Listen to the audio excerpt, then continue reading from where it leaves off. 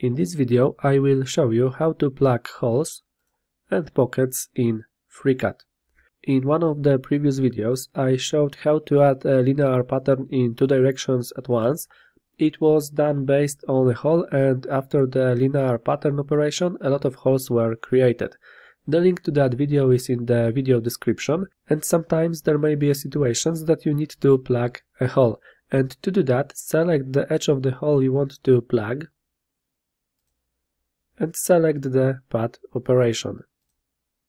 At this point everything is gone because the pad operation's default direction is extrude up and when creating the next stage of the solid it must overlap with the previous stage and the contact edge is not enough.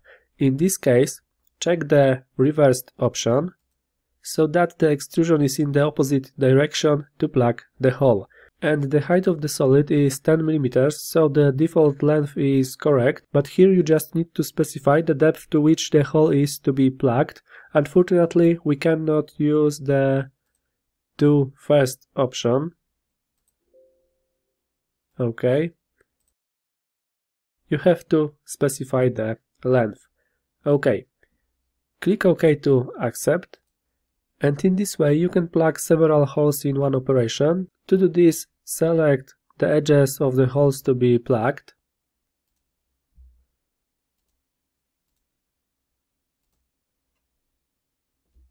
And select pad operation and as before select reversed and specify the appropriate length. OK. You can also plug other shapes in this way. Just select bottom surface of the pocket or its contour and select pad operation and specify the length of the extrusion. Okay, if the model is created in FreeCAD, you can check the pocket depth in the feature edit.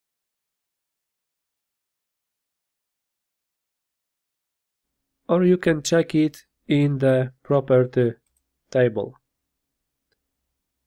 This is the depth of this pocket but you can also measure the depth of the pocket. Select Measure, Measure Linear, and select this face and this face, and the dimension will be shown on the model.